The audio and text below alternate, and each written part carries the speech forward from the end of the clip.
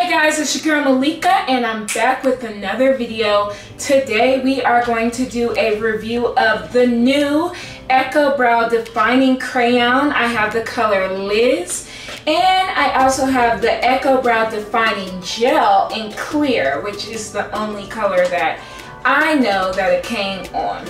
I ordered these off of Credo, which was my first time ever buying something from Credo. They both, um, the defining, uh, the defining crayon has 12 months sh shelf life and retails for $26.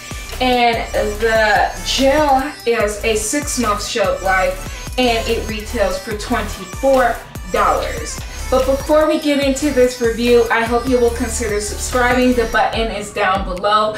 If you are going to subscribe, hit that notification bell so you will be notified every time I upload and give this video a thumbs up if you like me or you like this content. Comment down below so I can hear from you all. Share this video wherever you share videos. Feel free to use any of the links in my description box. They are safe. Um, it's not required that you use any of them but it does help me. It supports the channel and me. And I greatly appreciate all of you. Thank you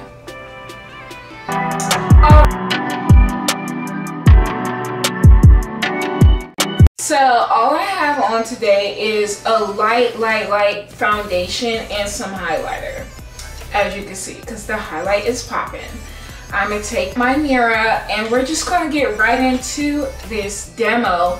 I'm first gonna show you how this crayon applies and my thoughts about it and I'm going to do a little bit of a wear test. I'm going to wear it for a couple hours to see if it really does last long because that's the brow gel is um it says it's a non-flaking conditioning gel formula that tames unruly brows and holds them in a place that in place in a way that looks natural providing a subtle subtle glossy finish. The gel formula can be used alone or over any um, Eco Brow defining products.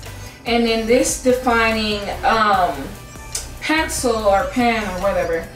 Um, dual crown creates a retract retractable self-sharpening brow pencil on one end and a spoolie brush for perfecting and taming on the other. The smudge-proof crown angle tip allows for artful precision. Simply fill in the direction of your brow, then use the brush to expertly comb and blend.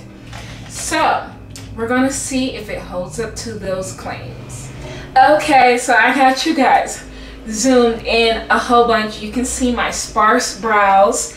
So this is how the pencil looks, you guys. And it just has sleekness. It's just black and it has the simple writing on each of each side. And so this is how it looks.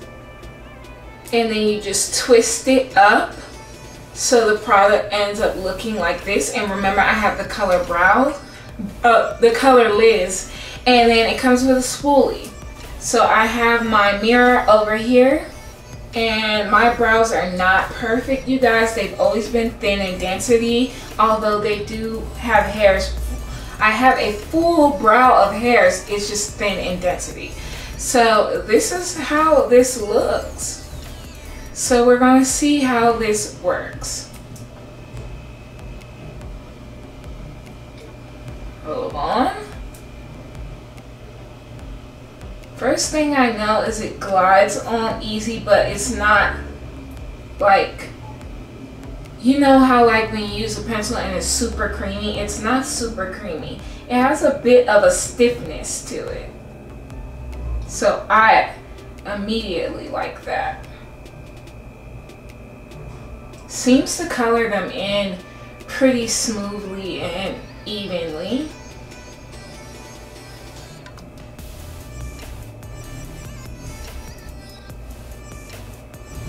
Try to clean it up a little bit.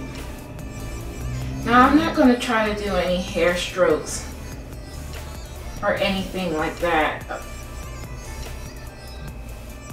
This is just not me. I ain't got time for all that today. I'm just gonna do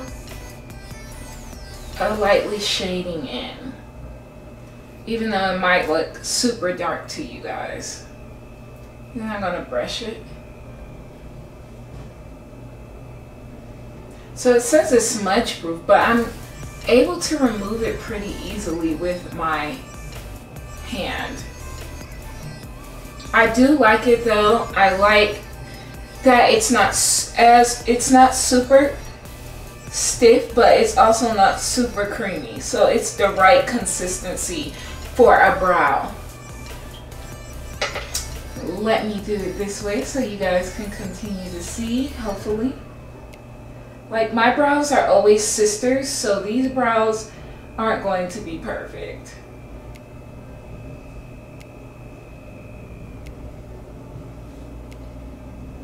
Okay. So, so far the product is allowing me to fill my brows in easily.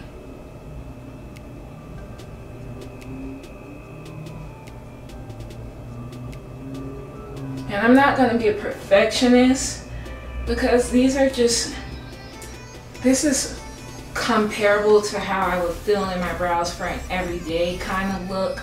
I wouldn't take a lot of time doing it. So that's how that's looking. Let me look straight ahead. Looks like it needs a little bit more product. like I always say, my brows are never cis um twins. Okay, I like that. So I really don't have much to say about it. I think it glides on really nicely. I think that the pigmentation is there. I wouldn't say that it's smudge proof. Maybe it has to have time to set before it's smudge proof. But for right now, while just doing my brows, I would say that it's not smudge proof. So let's move on to the gel. This is how the gel looks um, in a sleek. I imagine they will come out with different colors because it does say clear on here. So I imagine that they would. It has one of these longer ends and then a shorter end. So let's see. Hmm, I don't know if I'm going to use the longer end or the shorter end. It seems like it does a good job of getting the product. I don't know, I kind of like the shorter end.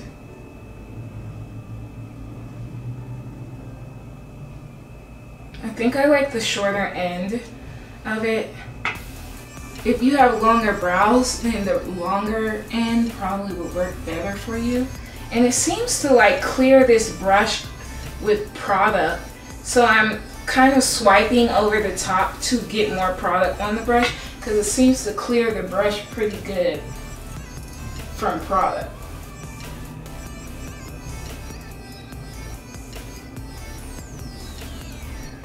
So I'm just trying to really get my front my little front hairs with enough gel on them I don't know. Can you guys kind of see the hair stroke? So that's how they look. And that's with one coat of gel. I think it looks pretty natural. I think it gives like my hair underneath the brow edge. Like it kind of makes it look more defined, more bushy-ish kind of look. Like I'm not sure if that's coming off on camera, but for me in person, it is. So I wanted to give you guys another close-up shot of my brows. So I kind of can see the subtle shine that it gives. Okay, like, so it is 12.56 right now, which I know you guys can't see because my camera, let's see. But it is 12.56 so I will probably try to come back to you guys around 6 or 7 o'clock. Right. It is we'll 5.08 and I have worn this now for 5 hours. Um, I have cleaned my carpets today. I've been really busy doing lots of housework. So I think that it held up well. And if I look to the side, it's my mirror. Um, I do think that the top of this brow kind of faded a little bit from me sweating, from doing housework. So that's not really the product's fault because I also was touching my brow. But as you can see, this brow is like fully, completely there. And I can still see the little shine that the gel gave my brows. So that's really cool. And it just doesn't look like on the brow that I wasn't touching, it doesn't look like it has faded at all. So I really like the way that this pencil glides. Like I told you guys, it is not too creamy and not too stiff. So it's the happy medium. I like that it's self-sharpening. Um, I like the packaging. And um, I just like that it's going to be now easier for me to be on the go and just do my brows on the go. I like that. I just like the way that it's it's been packaged and the spoolie and everything. So I'm gonna have to give this a go. I figured that I would, but you know, you never know. As far as the gel goes, um, I do think that it gives that subtle shine. Um, what else did it claim to do? It kept my brows in place.